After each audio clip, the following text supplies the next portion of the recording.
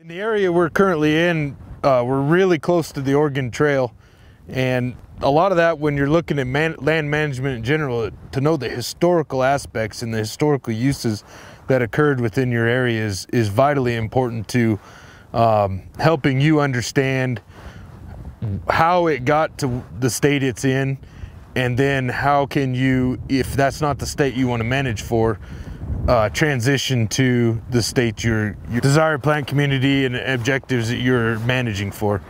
And so being we're this close to the Oregon Trail, the impacts, historical documents show that there was up to two and a half million to five million different classes of livestock that moved through here. And most of them moved in here over a five to six year period or moved through here.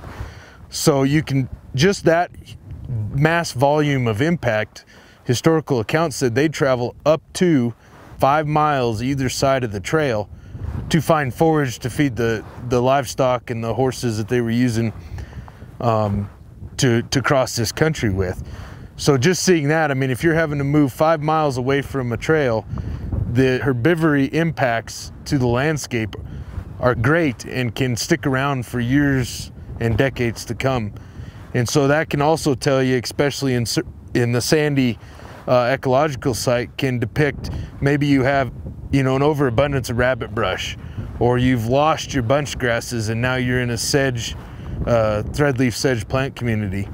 And that could just help you if you know, if that's the state you're in, it, using that history can, can point the way that it got there. It might not be the last 50 years of management, it's the last 150 years that have put you in that state you're in. So now that we've determined we're on a sandy ecological site, we feel pretty good about that. And we have discussed some of the observations we've made about the vegetation. We've uh, talked about historical uses of the land and what may be taking place on the land and really looked at what it is we're seeing all around us in the landscape. Now we really can dig into that state and transition model. And when we look at that state and transition model, we're really trying to focus in on what are the ecological dynamics of this site, what is really happening to move plant communities around, do, what are the drivers? What is the disturbance regime? And what, sh you know, what should that, how should that be reflected in the plant communities that we see? And based on our observations that we see here, we may or may not be in the reference state. And once we decide if we are or not, and if we're not in the reference state, then we choose a reference state uh, or that we think we're in. And the important part then, once, once you think you understand the model and how this site is working, and you choose a state that you think represents your site, it's critical that you just don't just use the state and transition model in of itself. What's really important is to go to those plant community narratives that are contained within the ecological site description and really compare those and compare what you're reading to what you're seeing on the ground. And what may appear to be dominant to you may or may not be what really the influencing factors are to that state. Uh, again, a lot of our state and transition modeling are moving toward being a much more ecological process based than just plant community based. And so you may read in that plant community that there is a certain trigger or a certain parameter that really helps solidify the fact you're in a plant community phase. And so looking at that information, again, this preponderance of information that tells us this is the state that we're in. So we've decided on our state and what plant community phase we're in. And I'm just going to use uh, an example here on site, but this is really more general to the process we would go through, is that we have determined that we are in a current plant community phase that is not our desired plant community. And our desired plant community is not dictated by the ecological site description. It is not, uh, like we had spoke about earlier, it is not prescriptive from the sense of telling you what your goals are. Really, you need to set your goals based on the uses you expect out of that land.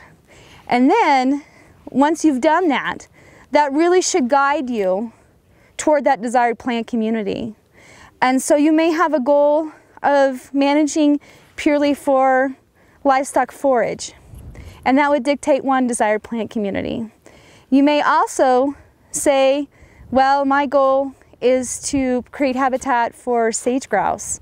And that would dictate another plant community. And then there would be instances where you would say, I really want both. And that actually could occur um, and does occur in a lot of our public lands landscapes. In which case then there is another desired plant community that may be a little different from each of those two when you're trying to manage for multiple uses. And so when you have your current plant community and then you have your desired plant community, reading that model and reading that narrative really can give you an indication of is my desired plant community even attainable?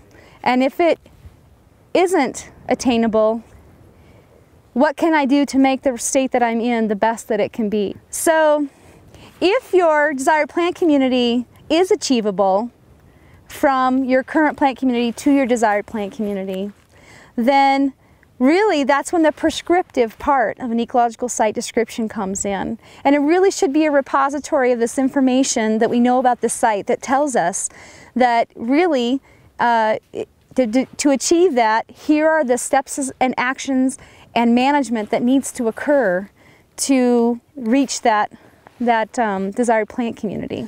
As an example, uh, of using the state and transition model to go toward your desired plant community, one of the things that uh, we can do is really look at those plant community narratives and really discuss what are the drivers and the disturbances that typically have taken place on this uh, site and what, what actually has happened to those processes. Have they been slowing down or they've been speeding up?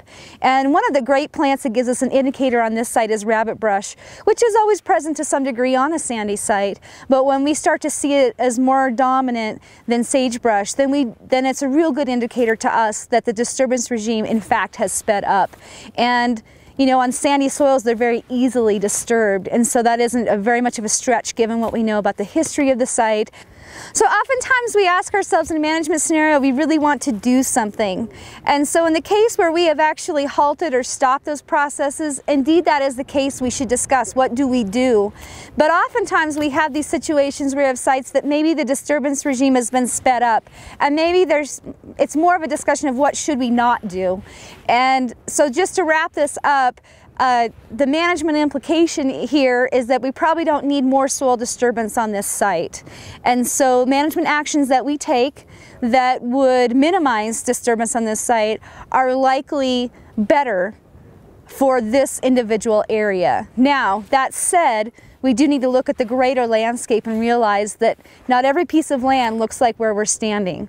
When we choose these sites, we hope they're representative uh, the lands that we're trying to manage, but we do need to look at them individually and we do need to make sure we have enough data and information spread across the landscape that we aren't treating everything just as the same. So Karen talked earlier about speeding up disturbance or slowing down disturbance. And she used this example in this sandy site for one that maybe speeding up the disturbance has occurred and using rabbit brush as an indicator.